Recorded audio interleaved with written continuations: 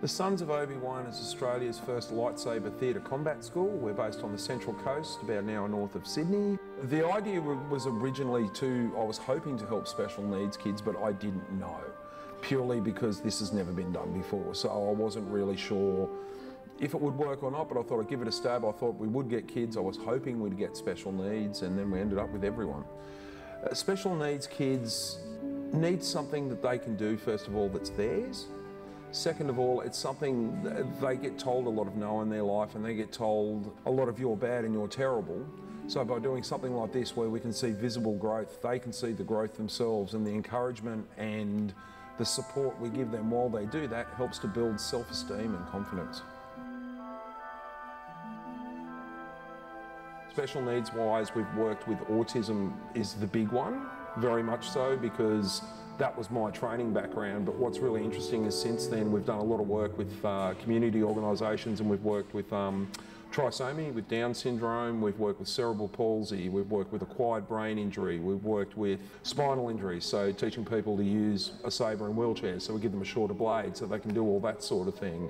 Schizophrenia, we've used quite a lot of mental health type stuff because we teach a form of meditation that is quite useful in day-to-day life. So yeah, no, it's it's been an interesting range of, of um, different issues. Yeah.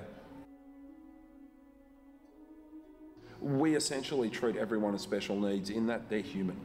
And everyone learns differently and thinks differently and needs different things. So that's why I came here and did this, because here I can tailor everything. If someone's in a wheelchair, we tailor all the, the combat. If someone has cerebral palsy, we make them a special sabre. So it gives me the ability to be able to genuinely uh, create a system for each individual student that will work for them and will be best for them to grow.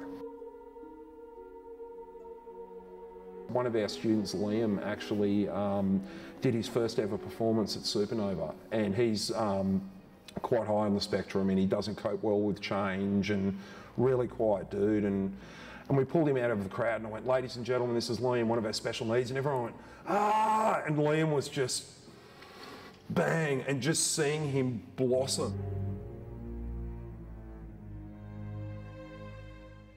Has this helped the special needs kids? Absolutely. Yeah, it's given them self-confidence. One of the best ways to explain it with a lot of autism kids uh, they have a great difficulty looking people in the eye. It's one of the classic symptoms of autism. And when you're doing theatre combat, you have to look at your partner because if you look away, you might make a mistake. So it's a good way to normalise them to be able to look in people's eyes, which is a valuable skill. It gives them it gives them happiness. It's interesting. There aren't many things where you personally can see a change. And the beauty of this is that by doing this, people can see they started here and then they move forward from there and they can see their own progression as it moves on. What I hope everyone that comes here, what I hope they get out of this place is self-confidence. It's something that they've always felt uncomfortable in society, but doing this, this is a little secret thing they can have that they know they can do and pull it out when they want to.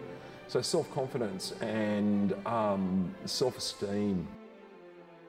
The parents have said that this place is the only place where their kid is a normal kid, where they just get to be themselves and have fun and that sort of thing. And I mean, that's that's a good thing you know, parents often say, like, this is where my kid is best. And that makes me happy because, as I said, like, yeah, we're a business, but I started this business to help people.